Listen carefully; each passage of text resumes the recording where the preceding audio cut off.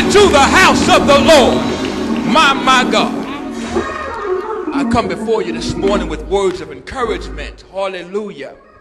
And, and it's, it's funny how God just opens things up to you as you're coming into the place. And Elder Matthew spoke my word on this morning. He spoke it, and I knew it was confirmation from God. And that word says, For this is the day that the Lord hath made, and we will rejoice and be glad in it. This is the day that the Lord hath made, and we will rejoice and be glad in it. Uh, let, us take that for a minute because, see, I, I want us to get an understanding because the Bible tells us that in all our getting, we need to get an understanding. And we need to understand what this word is saying. When I asked God, show me what this word is saying, He took me back to Genesis. The Genesis, the first chapter and the 26th verse. And it says, Let us make man in our image and let him have dominion. Let him have dominion.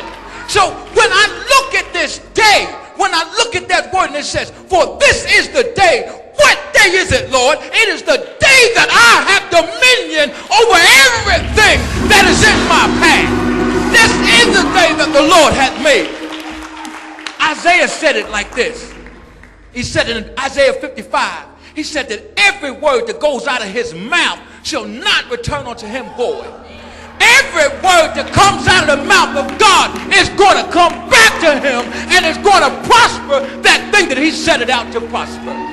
What we have to understand, saints, is God purposed in the beginning for us to have dominion. See, the thing is, we just don't walk long enough to get to that place of victory.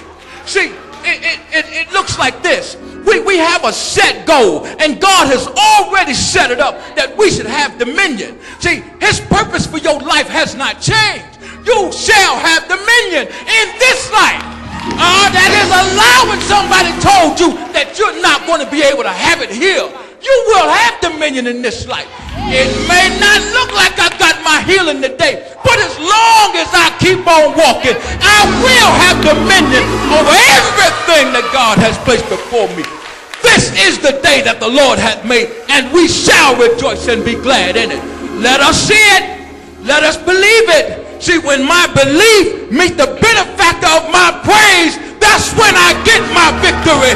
When my belief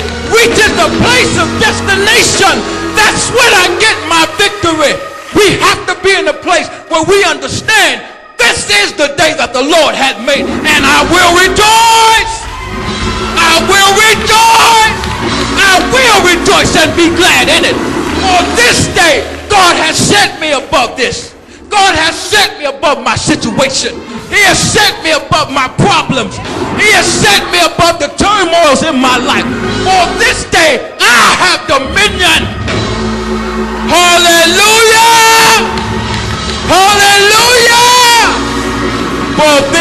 The day that the Lord has made. I don't care what it looks like. I don't care about the problems that you're having. For this is the day when your belief is going to meet your destination. Your belief is going to meet the benefactor of your praise.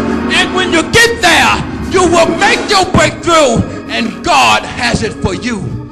Doesn't matter what you're going through. Doesn't matter where you've been. Today is the day. For this is the day that you have you shall have dominion over every problem in your life. You gotta believe that though. You gotta believe it. Don't let nobody rob you of what God has given you. Don't let nobody take away what God has already blessed you with. In the beginning, He said it in His Word. His purpose for us has not changed. We shall have dominion in this life. For this is the day that the Lord hath made. And I will, hallelujah, rejoice and be glad in it. Hallelujah.